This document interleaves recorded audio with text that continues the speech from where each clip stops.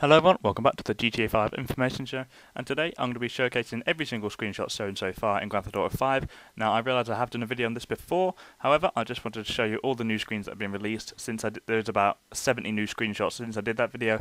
So until then guys, I hope you really enjoy this video. Um, I will be away for another week, so if Rockstar do release anything uh, about GTA 5 involving the multiplayer, the video, video, video might be a bit late, but I'm away till like Saturday or Sunday next week. Um, so I shouldn't be that long. It will only till be like the 12th of August, I think. Um, but until then, guys, uh, I really do hope you enjoyed this video. Uh, thanks for a lot for 10,000 subscribers as well. It really does mean a lot. And um, if you do keep on the support, I might do another giveaway shortly as well for Grand Theft Auto 5. So if you want to see that, guys, make sure to like the video. Leave a comment which screenshot you thought was your favourite, what you're most looking forward to in Grand Theft Auto 5. And I'll see you in a week, guys. So thanks for watching, guys, and I'll see you then. Bye-bye.